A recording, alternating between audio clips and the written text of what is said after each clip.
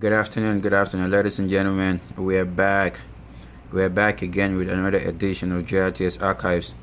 Uh, today we are going to show the release of the uh, prisoners pardoned by President Jammeh as part of the celebration of the July 22nd as 21st anniversary. So let's see what the archives have for us today. July 22nd revolution, the presidential message that centered on forgiveness was not many was, was not what many had expected.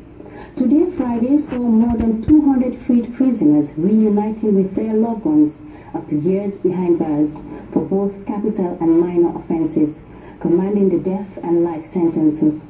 Louis Mendy was at the Gambia Prison Services headquarters and he prepared this report.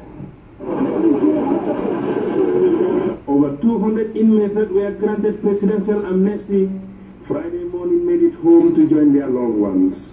At the Gambia Prison Service headquarters, it was tears of joy when the family members arrived to embrace and welcome home their loved ones after months and years behind bars, charged with treason, murder, drug trafficking, robbery, and were to face death, life imprisonment, or maximum jail terms.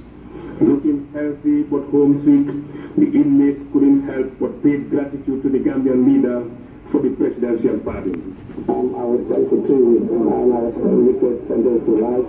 Um, I feel very grateful to Almighty Allah and very grateful to His Excellency the President for granting us a pardon. And uh, we want to, I want to pray for him for long life, good health and prosperity. And may Allah give him the strength to be able to steer the affairs of this country to higher heights. Of this, we want to thank the Almighty Allah, you know, for having um, preserved us and gave us the strength, you know, to uh, witness this day. And we thank our parents and you know for our prayers and you know for the loved ones. And we want to thank His Excellency the President. You know, when I heard the news, you know, um, on Wednesday. I said, you know, the president has stolen the show again. Um, he has done, you know, the unexpected, and um, he has shown that the, the type of um, person he is, you know, uh, caring and um, who can forgive and then forget. A sizable number of youths pardoned as first-time offenders in cannabis did not only confess regret, but prayed that God bestand them from drug and other illegal activities till eternity. The youth also heap praises on the president for the show of mercy. First, first I thank God for this occasion day, for God making this day a possible day. And thank the President of the Republic of the Gambia for making God making him be a true missionary. Senegalese, Nigerians, and a Dutch national forming part of a larger number of non-Gambians charged for possessing cannabis and cocaine, now free custody of the president, are set for immediate deportation. I thank him sincerely for his uh, kindness, for he's a God-fearing man. We are all happy and everybody in the prison all over the country are happy. They see what he has done. We are all grateful for his generosity. Whatever he has done, he has done so much that is unbelievable. Nobody could do that for us. I'm speaking specific for myself. Uh, we done too much. I wish he be there till the end of time. The six Venezuelans charged for possessing cocaine sometime in the past were also pardoned. I asked them whether such an act can be granted amnesty in Venezuela.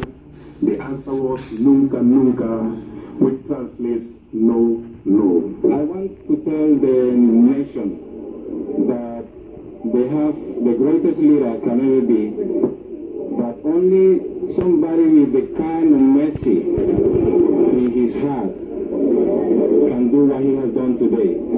Speaking earlier to now free inmates, Lami Nyabally, the Secretary General, Head of Civil Service and Minister responsible for Presidential Affairs, and Honorable Ousman Sonko, the Minister of the Interior, warned them to remain calm while enjoying their freedom and to only engage themselves in productive ventures as good citizens.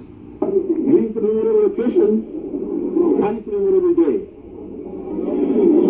I'm sure all of you by now would have His Excellency the President of the Republic Chef Professor Alhaji Dr. Yaya Eji Jal Babile Mansa, and one of prisoners were released sometime in the month of Ramadan as a gesture for the following of Ramadan. 85. And today, we are witnessing the release of another 200 and something prisoners. Now, this can only happen the leader of the likes of President Jammeh. First of all, I want to thank His Excellency the President for this benevolence. And I want to thank him for his sympathy and concern for the Gambian people. Because this is history. History in the sense that I've never heard anywhere in this world where a president pardons prisoners who have been convicted of treason, murder, talk less of trafficking. Because we've seen in most cases, even those convicted for drug trafficking are executed. And those convicted for treason, by the time you know what is happening, they are executed. But here is His Excellency the who Why are you guys so obsessed with death, though? Some were supposed to serve life imprisonment, and some were supposed to serve 25, 30 years imprisonment. And with all that, because his fear in the Almighty Allah, and his fear in, in his belief in the Holy Quran, which is the Holy Scripture, made him to have that sympathy, sympathetic mind to free these people on this holy month of Ramadan, and even in, in celebration of the anniversary of the July 22nd, July 22nd anniversary. The historic gesture of forgiveness. Oh my God! Look at them in their trucks. Came at the heels of the 21st anniversary of the 22nd July Revolution. The Interior Minister said symbolizes reconciliation, rapid socio-economic transformation, caring, and above all, forgiveness.